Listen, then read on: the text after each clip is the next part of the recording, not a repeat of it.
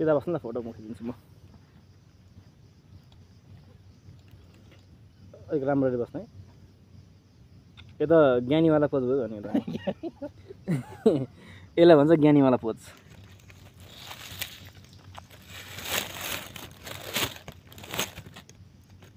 हो अब यो चाहिँ स्टाइलवाला पोज है यो भरे सम्झिनु ल मैले फोटो खिचेको थिएँ भनेर सम्झिनु है अब बुझ्नुभयो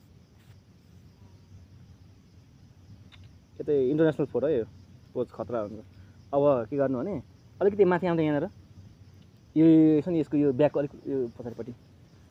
फोटो खिच्न खाने मान्छे म यो फेरि। अलिक अँ अँ अँ खतरा यार खतरा। मान्छे राम्रो हो कि खिचिदिने मान्छे राम्रो हो बुझ्नै गाह्रो यहाँनिर। ल जा। पछि सम्झिनु मलाई त्यहाँ फोटो खिचेको थिएँ मैले भनेर बुझ्नुभयो नि। एकछिन बस्नु अझै यहाँ यहाँ अँ त्यहाँ टेक्नु ल। ओ ब्यागलाई एकछिन हटाइदिनु साइड र ब्याग क्याम्सेन एकछिन लाग्यो त्यसलाई माथि थाक्यो भन्छ तर मेरो ब्याग पो चोरी हुन्छ क्या माथि चलाइ कसले लान्छ ब्यागमा त्यस्तो के छ हुन्छ हो लानु ल है ल आमा खतरा यस्तो।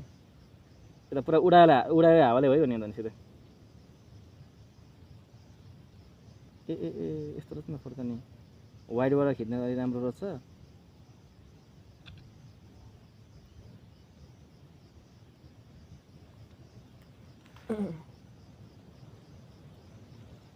ल ल